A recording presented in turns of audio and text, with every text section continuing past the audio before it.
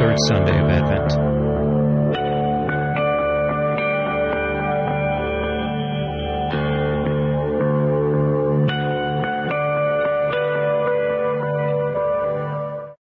The Spirit of the Lord God is upon me, because the Lord has anointed me. He has sent me to bring glad tidings to the poor, to heal the brokenhearted, to proclaim liberty to the captives, and release to the prisoners.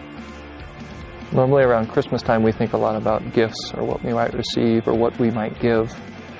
But there, what we need to understand in, in this time of Advent is that there's a movement that God makes that the human mind doesn't fully grasp.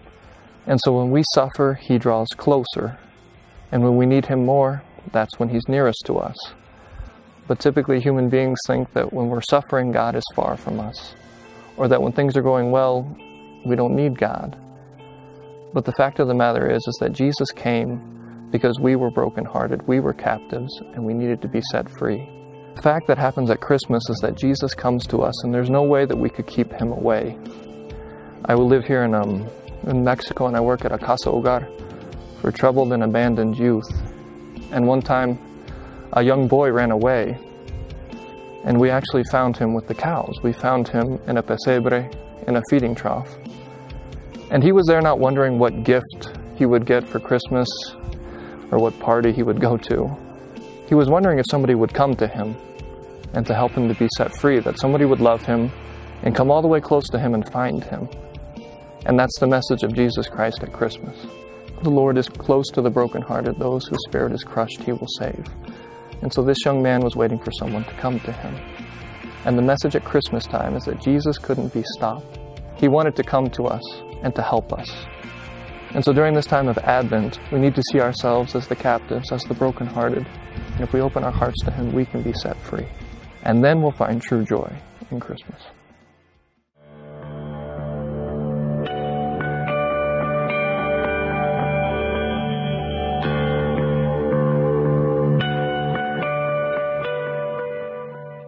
Hello, I'm Jeff Cavins, and today we're looking at the readings for the third Sunday in Advent.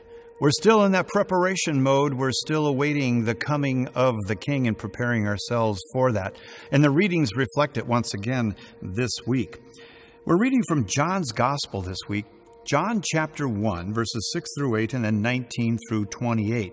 And in the readings here, matched with the first reading in Isaiah chapter 61, we realize something about the way the church puts the readings together to tell us something that is actually very, very encouraging. And maybe you need encouragement in your life. What have you been going through this last year? Have you been discouraged? Have you been let down? Maybe you've become very disappointed in people at work or family or extended family. The readings this week point to a new beginning. They point to a new opportunity. Something is about to take place that is going to change everything. Maybe you've gone through a season of your life where you felt you have been captive. Maybe you have been all tied up in, in legalities or in relationships that just seem to go nowhere, and you want that new beginning. Well, John speaks in chapter 1. It says in verses 6 through 8 there was a man sent from God whose name was John. He came for testimony, to bear witness to the light, that all might believe through him. He was not the light, but came to bear witness to the light. And then we skip a number of verses and we go all the way to verse 19 of John chapter 1. And it says, And this is the testimony of John when the Jews sent priests and Levites from Jerusalem to ask him, Who are you? I bet they were wondering, huh? Who are you? And he confessed, he did not deny, but confessed, I am not the Christ. And they asked him, What then? Are you Elijah? Because there was some discussion that he might be Elijah. He said, I'm not.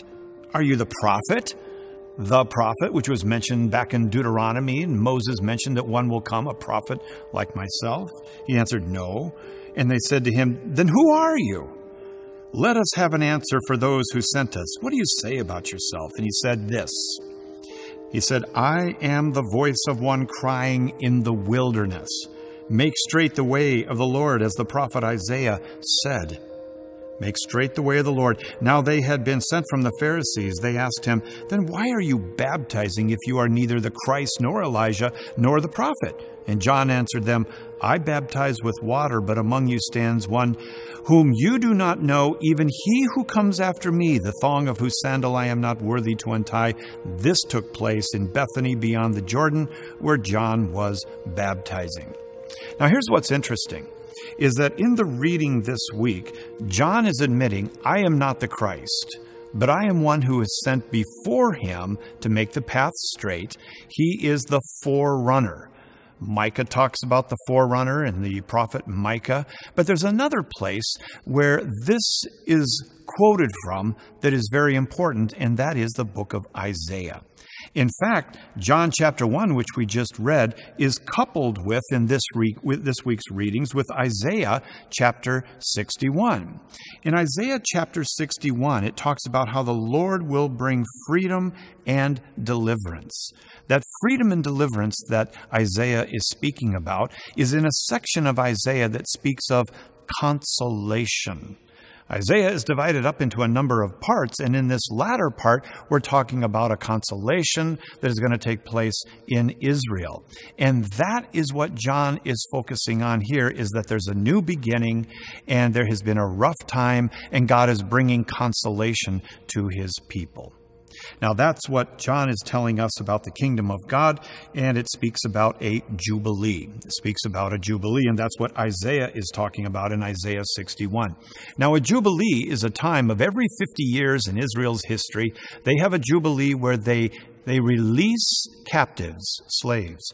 They forgive debt. They give property back. It is a new beginning.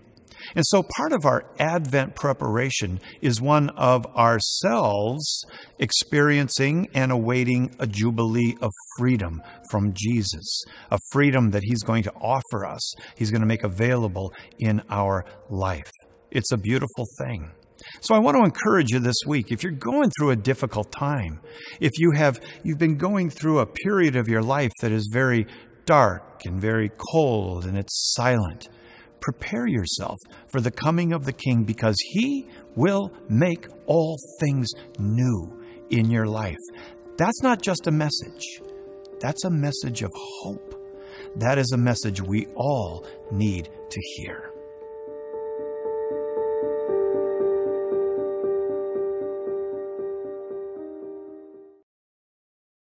Isaiah 61 verses 1 to 2, and 10 to 11. Rejoice in the Lord heartily.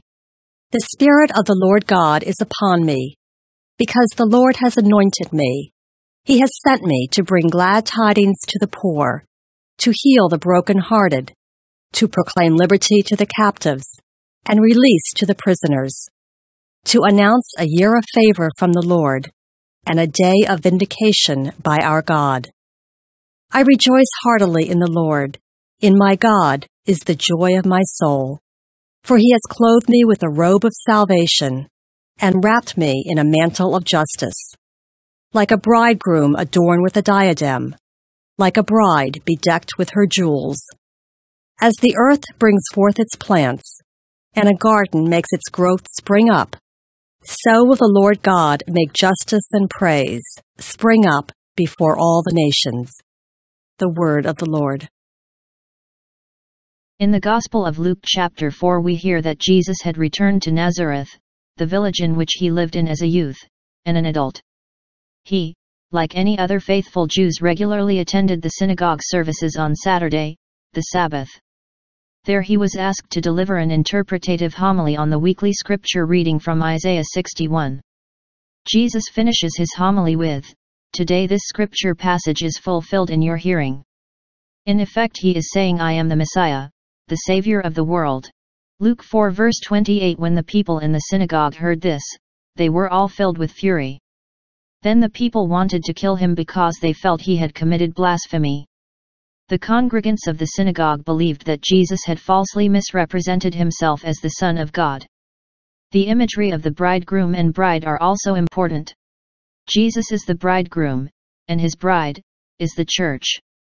Ephesians 5 verses 25 and 26 Husbands, love your wives, even as Christ loved the church and handed himself over for her to sanctify her, cleansing her by the bath of water with the word.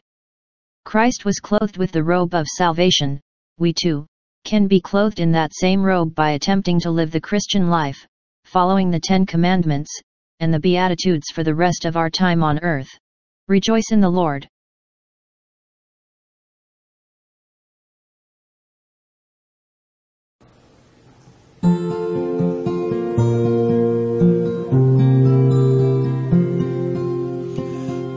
My soul rejoices in my God.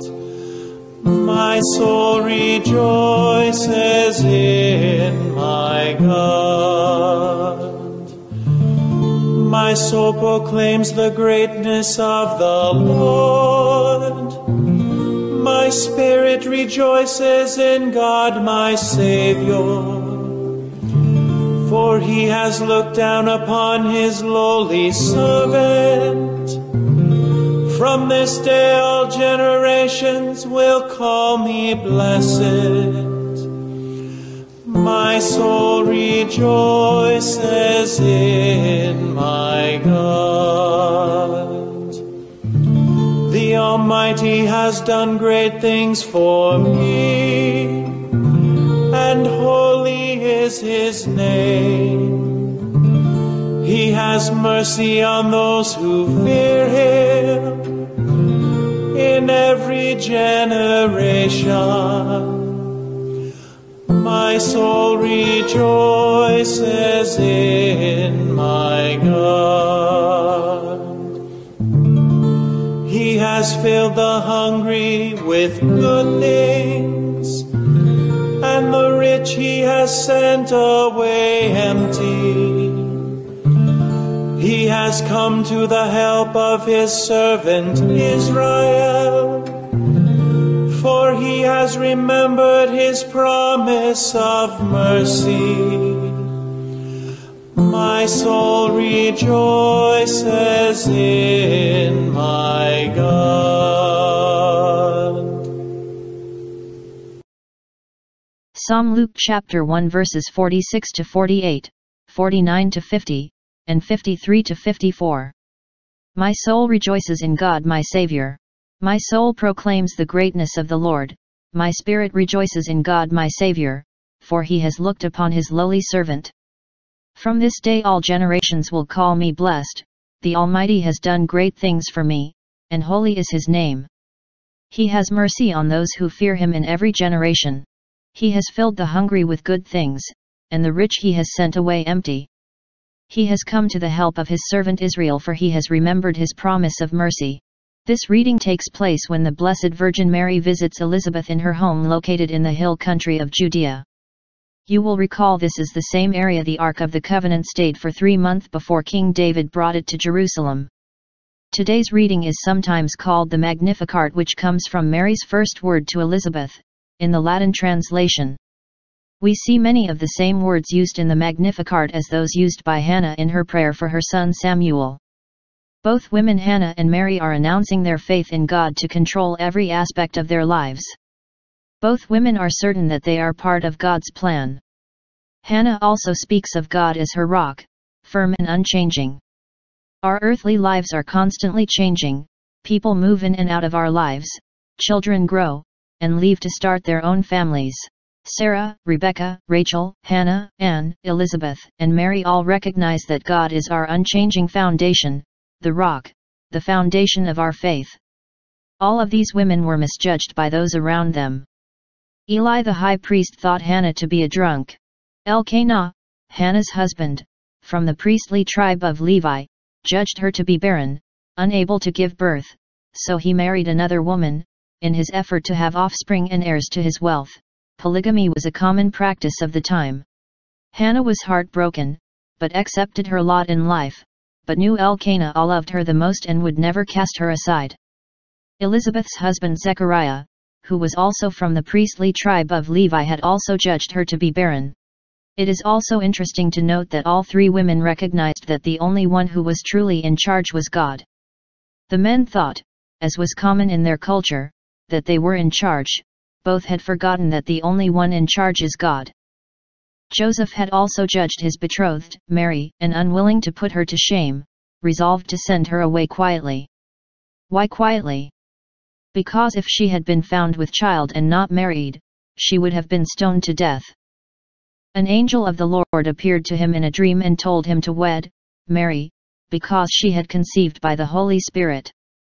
Elkanah, Hannah, Zechariah, and Elizabeth came from the same hill country north of Jerusalem. This is the same area that the Ark of the Covenant was stored for three months before being returned to Jerusalem. Mary, the new Ark, the new God carrier, also stayed with Elizabeth three months in the same hill country.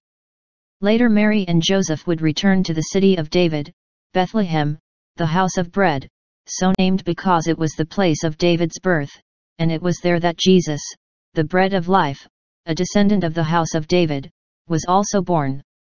Catholics do not worship Mary.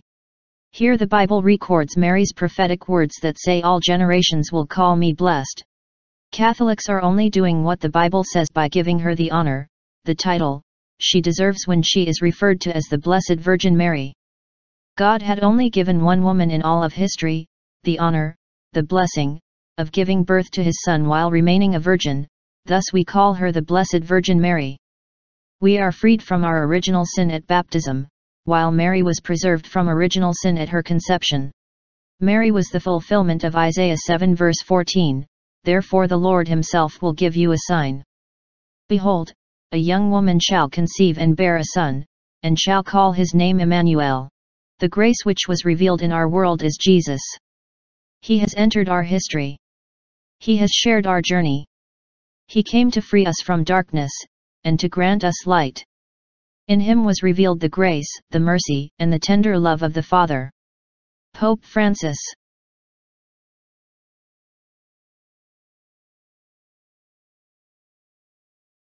First Thessalonians chapter 5 verses 16 through 24. May you entirely, spirit, soul, and body, be preserved blameless for the coming of our Lord Jesus Christ. Brothers and sisters, rejoice always, pray without ceasing. In all circumstances give thanks, for this is the will of God for you in Christ Jesus. Do not quench the Spirit. Do not despise prophetic utterances. Test everything, retain what is good refrain from every kind of evil. May the God of peace make you perfectly holy, and may you entirely, spirit, soul, and body, be preserved blameless for the coming of our Lord Jesus Christ. The one who calls you is faithful, and he will also accomplish it. The word of the Lord. God wants all of his people to be happy, in the same way every parent wants their children to be happy. As we approach Christmas we try to buy our children safe gifts that will bring them happiness.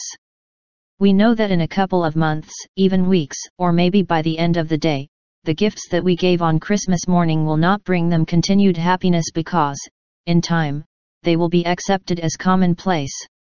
Just think of how you treat the many gifts of grace you have received from God.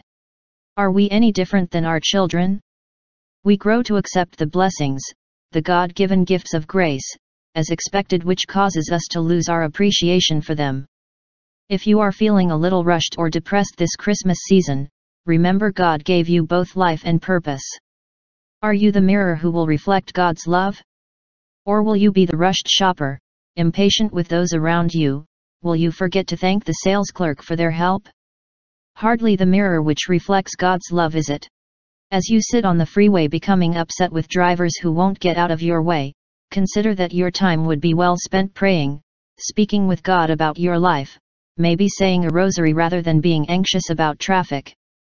Those are only a couple of ways your Christian life becomes God's mirror of love. That's what St. Paul is saying rejoice always, we are Christians, a people of hope, that rests in the sure and certain knowledge that the Lord will not abandon us or leave us orphans. Philippians 4, verses 4 to 7. Rejoice in the Lord always. I shall say it again, rejoice. Your kindness should be known to all. The Lord is near. Have no anxiety at all, but in everything, by prayer and petition, with thanksgiving, make your requests known to God. Then the peace of God that surpasses all understanding will guard your hearts and minds in Christ Jesus.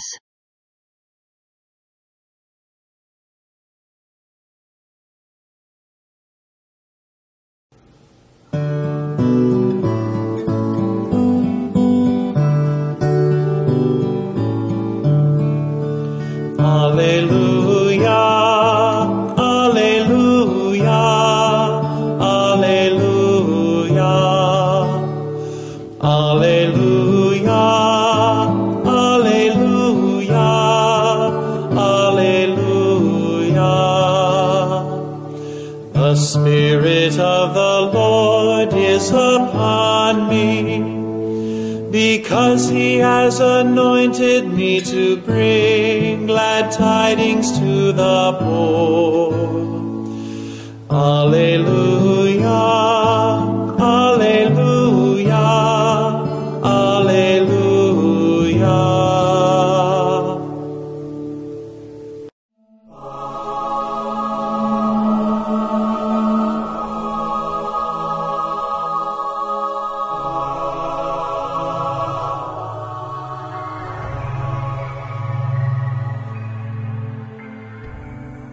named John was sent from God. He came for testimony, to testify to the light, so that all might believe through him. He was not the light, but came to testify to the light. And this is the testimony of John. When the Jews from Jerusalem sent priests and Levites to ask him, Who are you? He admitted and did not deny it, but admitted, I am not the Christ. So they asked him, What are you then? Are you Elijah? And he said, I am not. Are you the prophet? He answered, No. So they said to him, Who are you, so we can give an answer to those who sent us? What do you have to say for yourself? He said, I am the voice of one crying out in the desert, Make straight the way of the Lord, as Isaiah the prophet said. Some Pharisees were also sent. They asked him, Why then do you baptize if you are not the Christ, or Elijah, or the prophet? John answered them, I baptize with water, but there is one among you whom you do not recognize, the one who is coming after me, whose sandal strap I am not worthy to untie. This happened in Bethany across the Jordan, where John was baptizing. The Gospel of the Lord. Praise to you, Lord Jesus Christ.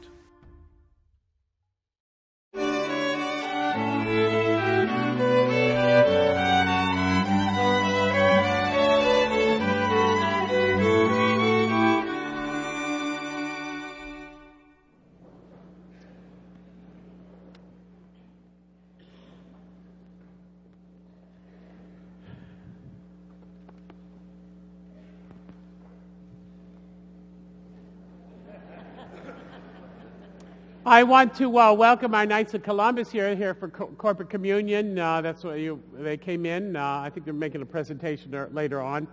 Uh, we're glad to have them here. Uh,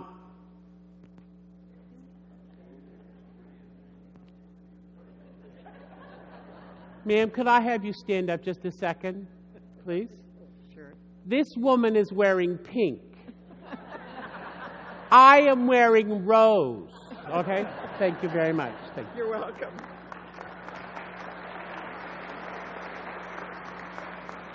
I have to straighten this out every, every twice a year. I have to do this to you people because I invariably get, "Oh, Father, you look pretty in pink." So today uh, we ce- celebrate Gaudete Sunday, which is a, the joyful Sunday of Advent. But it also, if you notice, every one of the pa- passages of Scripture emphasize that understanding of God being present to us, God's love, not only to us in, in the, this modern world, to 21st century, but throughout history. We heard the first reading from Isaiah. After these people have been, uh, have been slaves in Babylon, have been there for a hun- almost a hundred years, all of a sudden Isaiah is turning around and saying to them, a year of favor. God is blessing us amidst all the difficulties of life.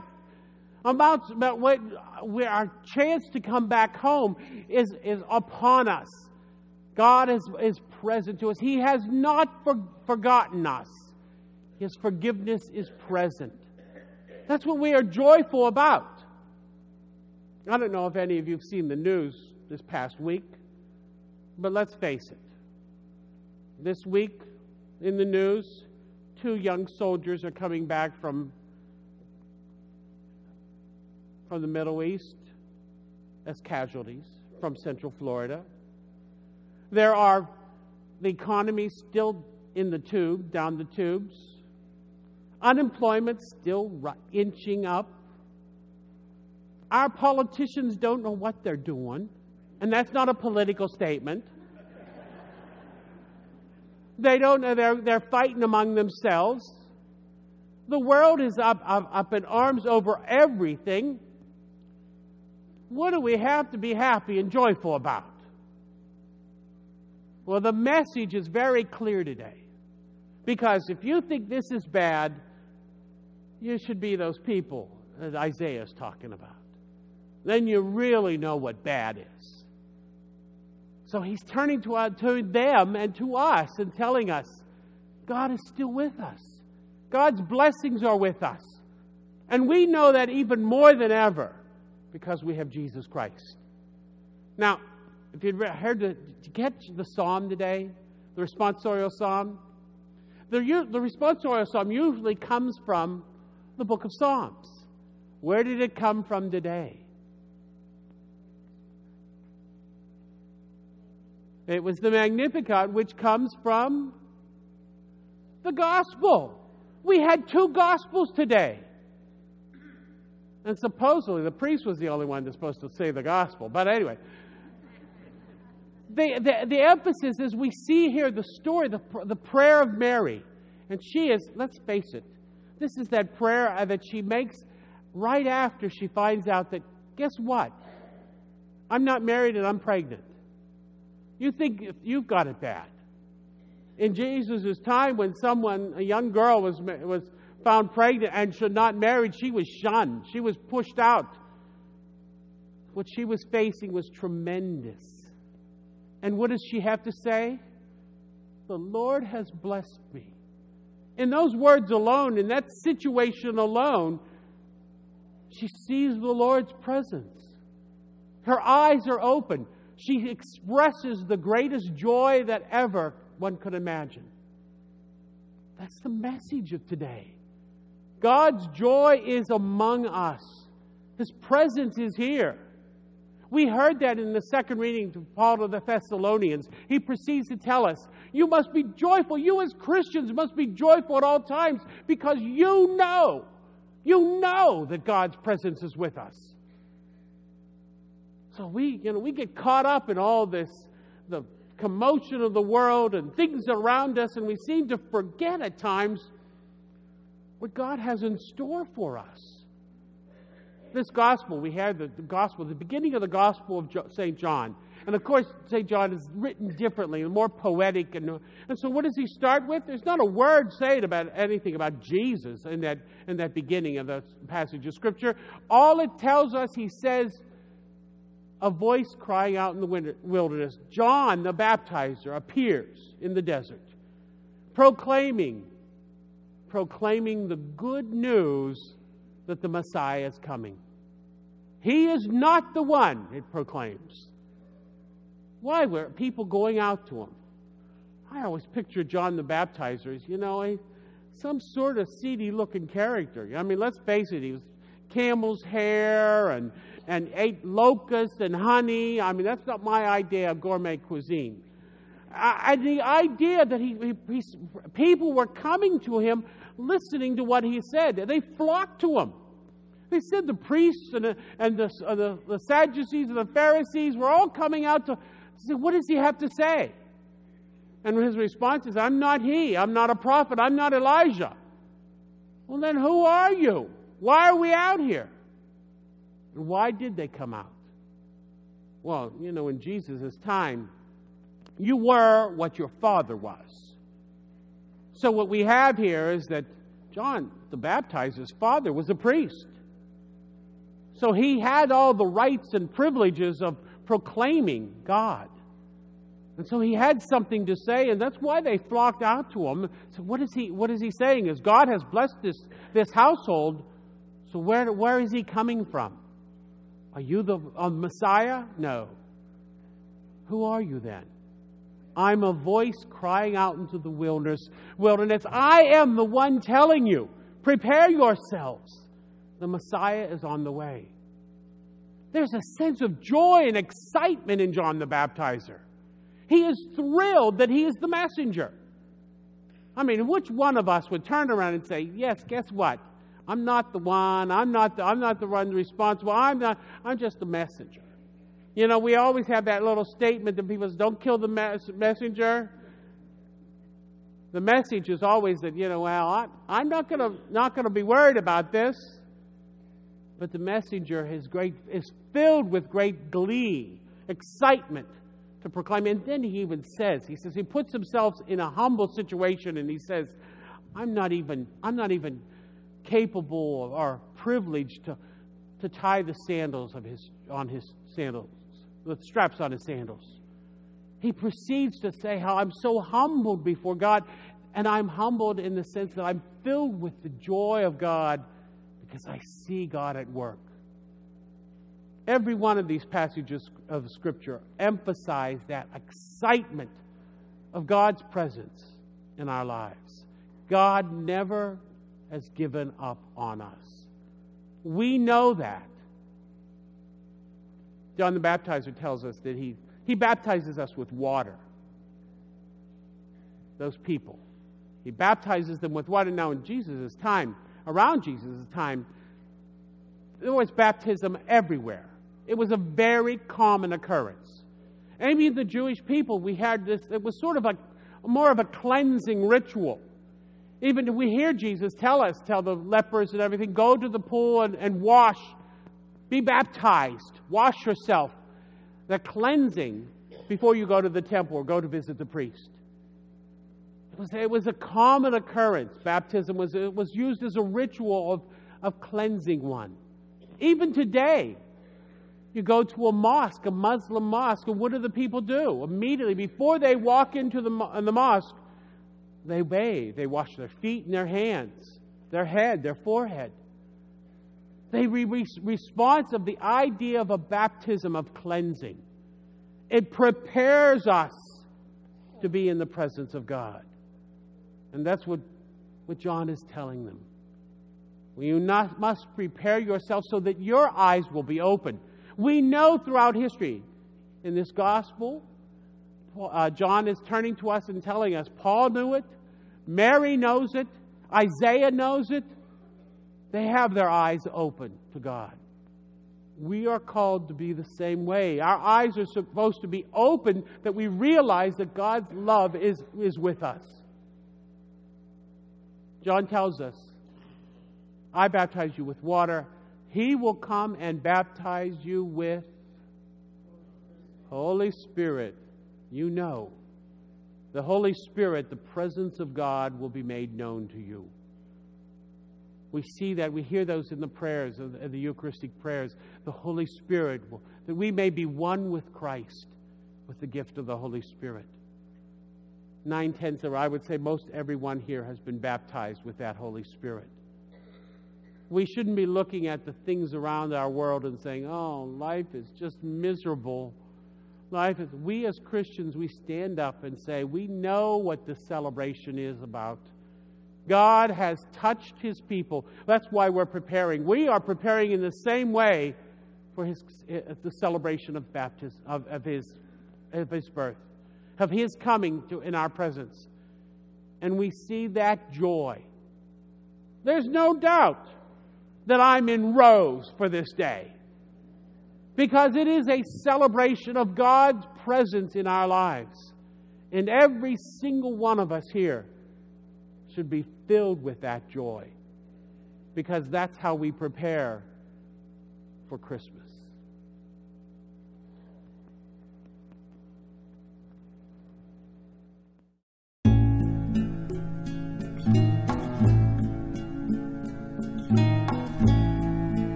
John chapter 1 verses 6 to 8 and 19 to 28.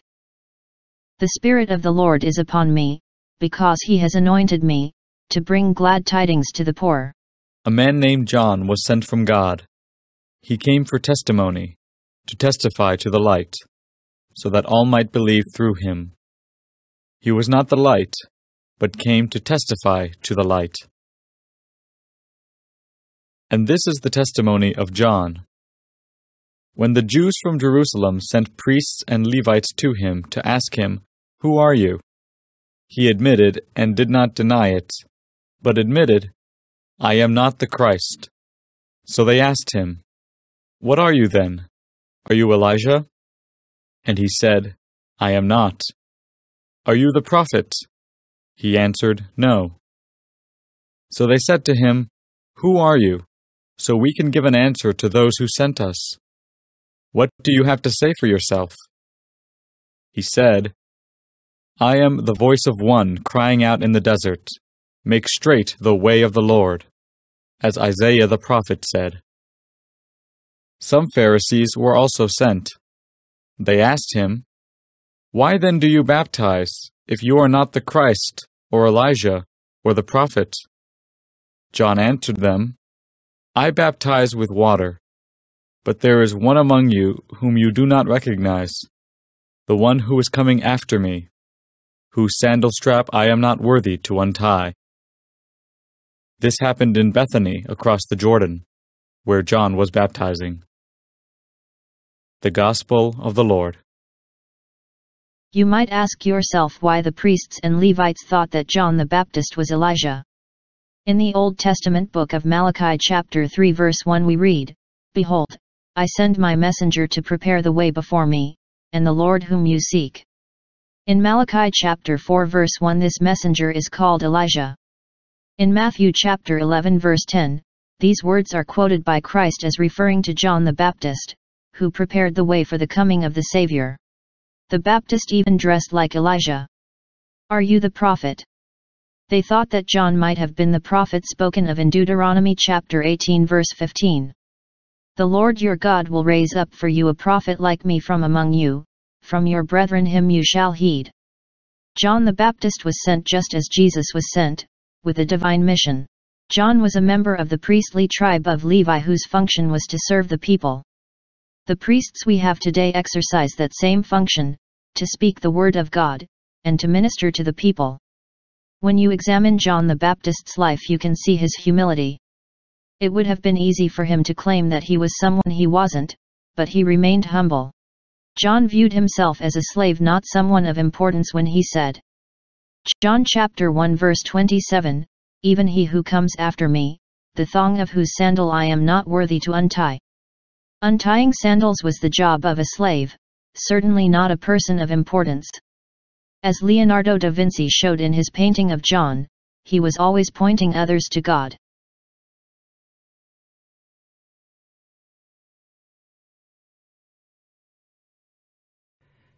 This is a homily for the third Sunday of Advent.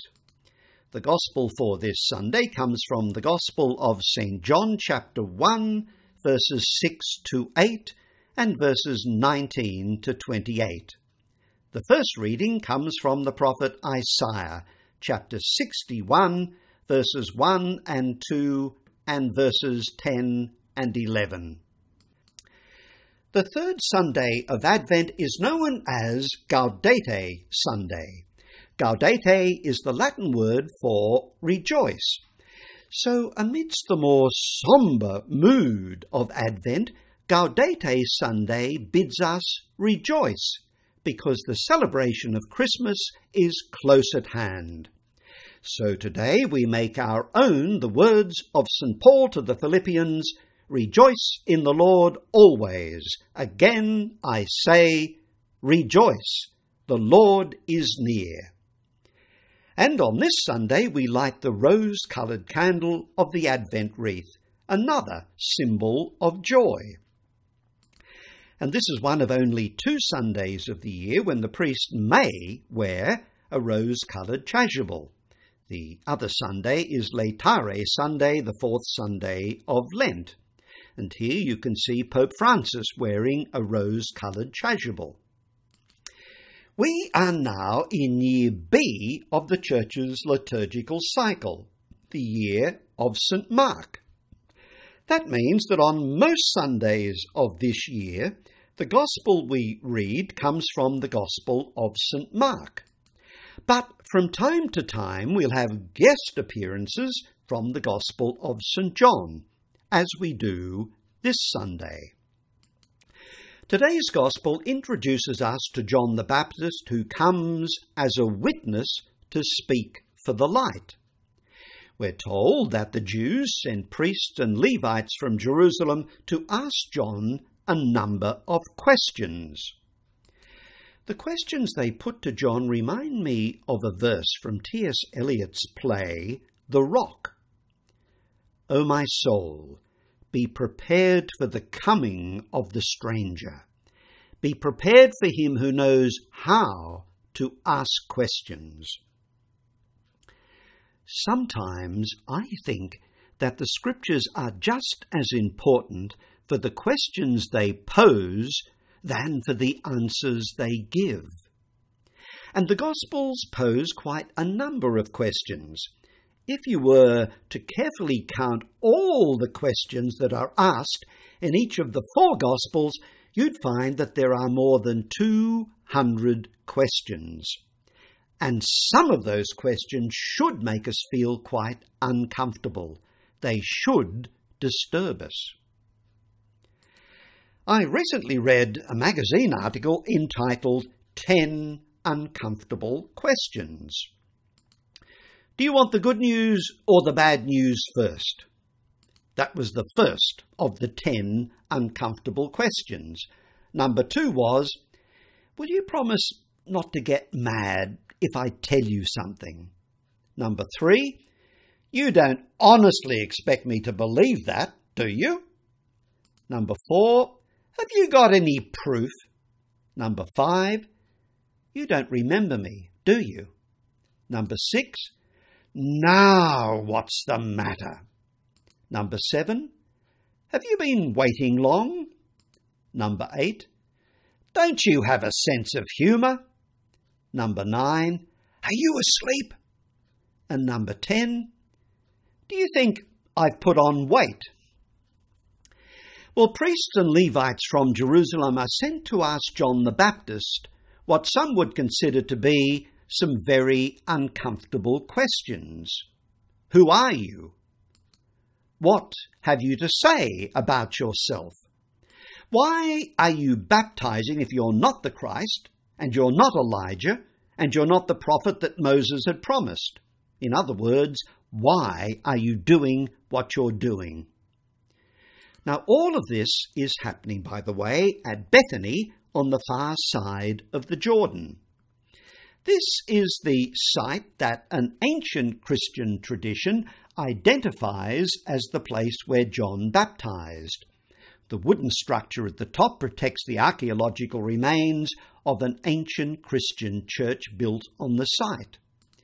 In the 6th century, a pilgrim by the name of Theodosius visited the site and wrote this account of his visit. At the place where my Lord was baptized is the Church of St. John the Baptist, which was constructed by the Emperor Anastasius. It stands on great vaults which are high enough for when the Jordan is in flood. Anastasius was emperor in Constantinople from 491 to 518 AD. So this is Bethany beyond the Jordan where John was asked these questions. And they're questions we could ask ourselves. Who am I? And I'm sure that we would answer that question differently at different stages of our life. Many people define themselves by what they do. I am what I do. My job defines me. I'm a lawyer, a doctor, an engineer, a chef, a student, an accountant, a priest.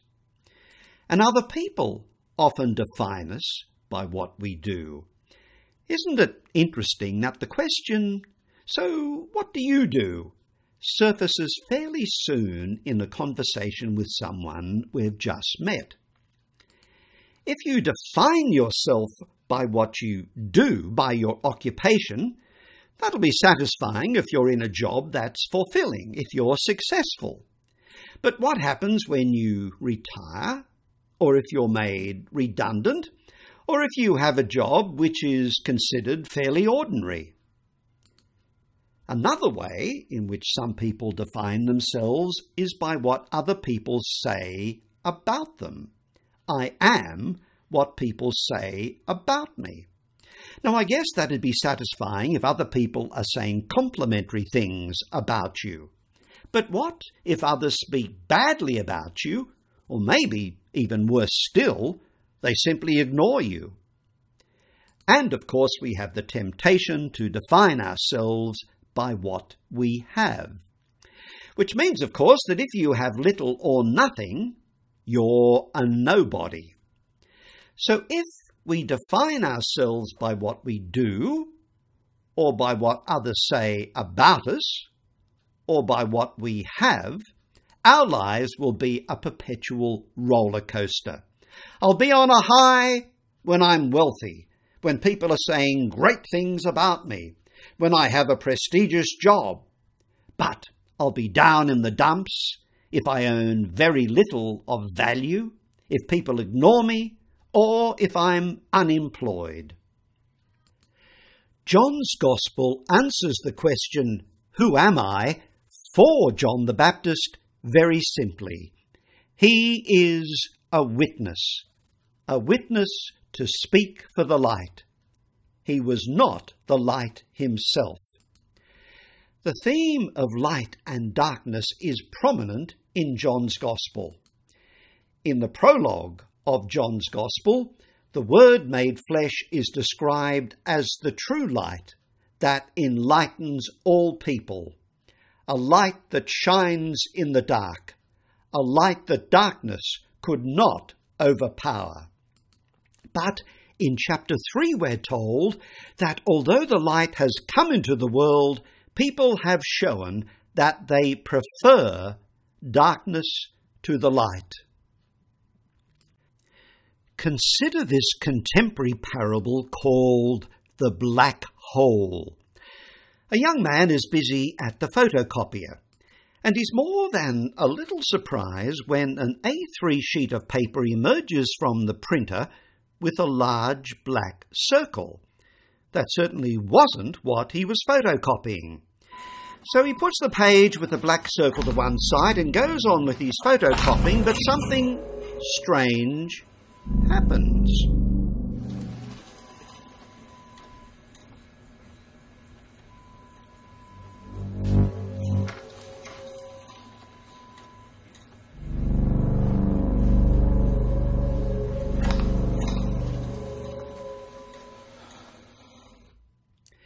Now, this gives him a bright idea.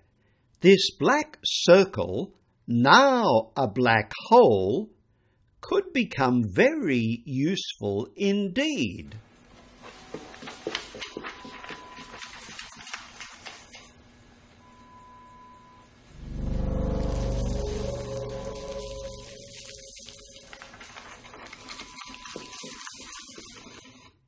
Now, a bar of chocolate is one thing, but let's see what's in the room that contains the company's safe.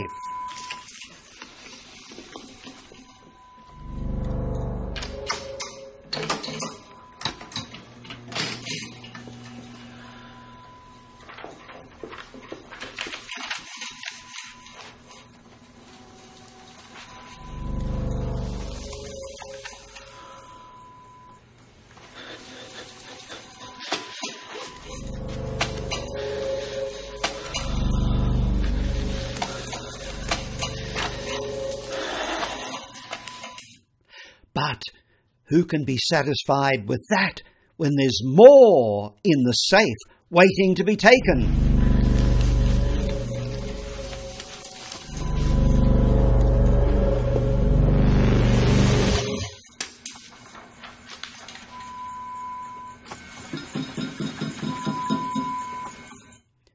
devoured by the darkness.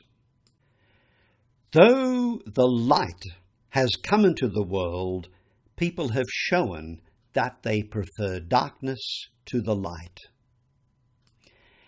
How would Jesus answer these questions that were put to John the Baptist? Who are you? What have you to say about yourself? And why are you doing what you're doing? Well, Jesus answered these questions by making today's first reading from the prophet Isaiah his own. Let me explain. The Gospels tell us that when Jesus began his public ministry, he left his hometown of Nazareth and went to live in Capernaum. Now, the distance between Capernaum and Nazareth is about 40 kilometres, maybe a two days' walk. Today it's a drive of just over an hour. On a return visit to Nazareth, Jesus goes into the local synagogue on a Sabbath day. And here you can see what a local tradition tells us is the site of the ancient synagogue of Nazareth. Jesus stands up to read, and they hand him the scroll of the prophet Isaiah.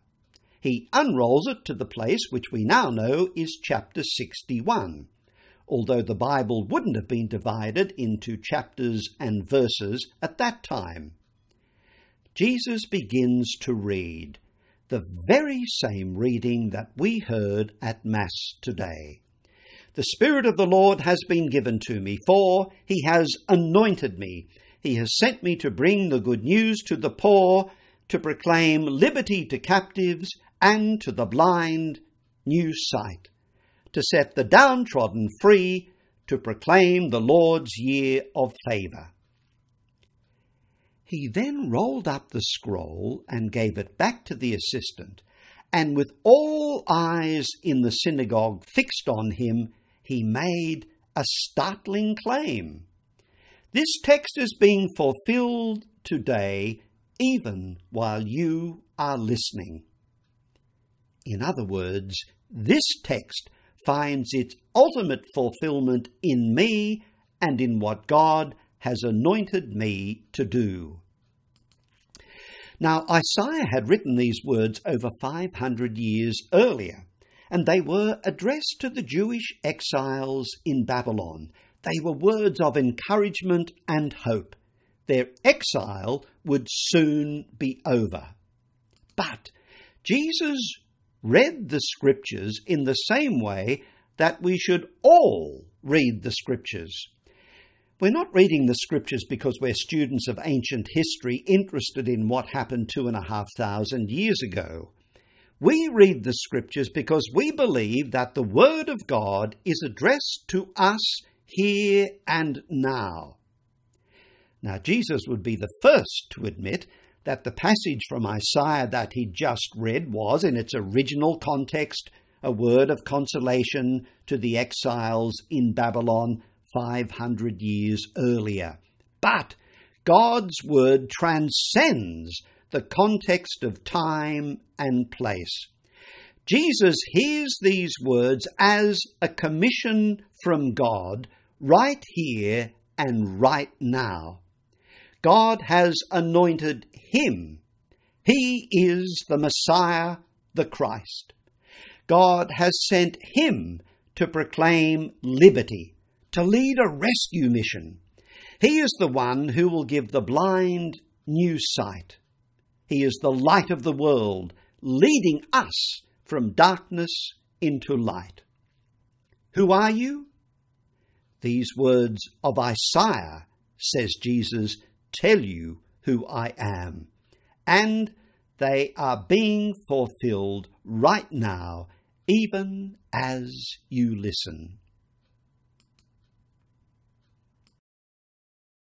Who's your daddy? There is a lot of importance in knowing who you are and where you came from. Today we hear the people from Jerusalem asking John the Baptist that very question. Who are you? They are looking for some type of criteria with which to judge him. Unfortunately, we often judge people by their backgrounds or family history rather than by who they are. One morning, a professor and his wife were eating breakfast at a little restaurant. hoping to enjoy a quiet, family meal. While they were waiting for their food, they noticed a distinguished looking, white haired man moving from table to table, visiting with the guests. The professor leaned over and whispered to his wife, I hope he doesn't come over here. But sure enough, the man did come to their table. Where are you folks from? he asked in a friendly voice. Oklahoma, they answered.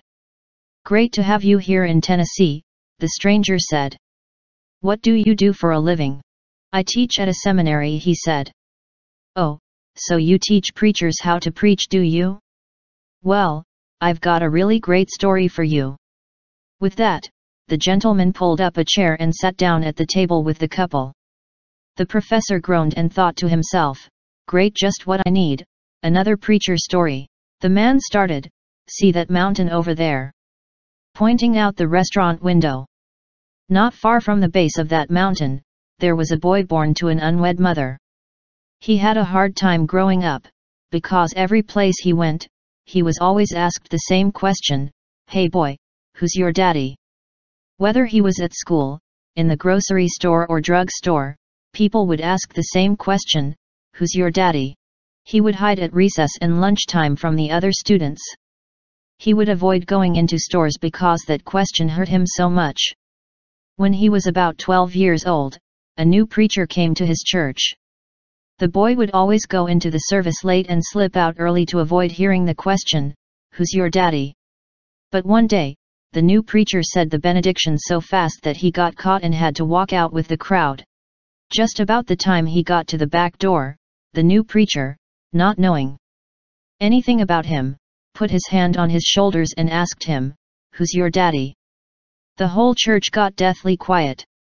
He could feel every eye in the church looking at him. Now everyone would finally know the answer to the question, Who's your daddy?